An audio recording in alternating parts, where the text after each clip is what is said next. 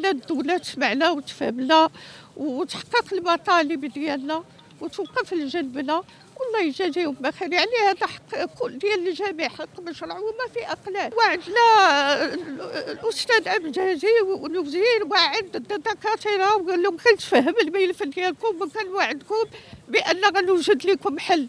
ولكن العمر كيفيت وهاد كيفوت. وهاد الدكاترة كلهم قربوا للتقاعد. منهم انا قربنا وحنا دائما الدولة كتوعدنا وما كاين حتى حل ما كتعطيش الحل.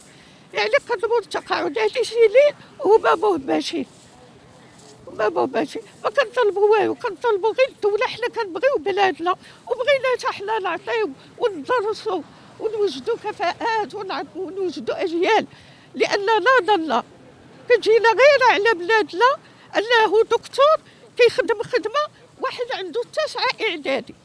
هو دكتور في إدارة وجالس ومهمش كتجينا غير على الشواهد ديال المغرب. أنا في بلادي ما كنخدمش. داكشي اللي قريته. يعني كنعطي شيء بسيط للدولة. وأنا ف... وأنا يمكن لي نعطي أكثر لبلادي. لأنني حاصلة على أكبر شهادة. يمكن لي ندرس أجيال. وإذا به كنعطي أشياء بسيطة اللي يمكن لي يعطيها واحد عنده شهادة ديال تسعه اعداد وهذا غير معقول. دكاتره بزاف مقاطعات. يعني شيء يبكيك لما تشوف دكتور جالس وحده واحد في الإنعاش. والله العظيم الا إنعاش ومقدمين جالسين لحداك. وأنت دكتور. وأعلى شهادة يعني. ومحصلين على دكتوراه السلك الثالث ودكتوراه وطنيه يعني أنا ما عنديش دكتوراه عندي جوج دكتوراه السلك الثالث اللي كانت كتخولنا شحال هذه أستاذ جامعي وزدت وتابرت وقريت وقلت لا أنا بغيت ندرس في الجامعة. أنا بغيت نخدم بلادي ونعطي.